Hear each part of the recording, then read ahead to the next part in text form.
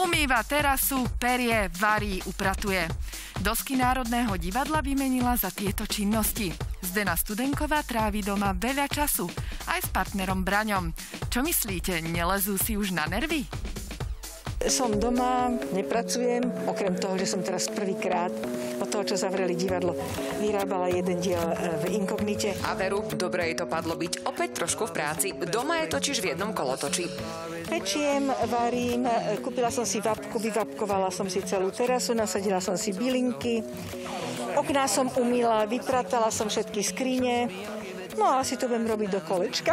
A tak predsa len nemá z toľkého času stráveného spolu s partnerom Braňom v jednej domácnosti tzv. ponorku. Ale nie, nie.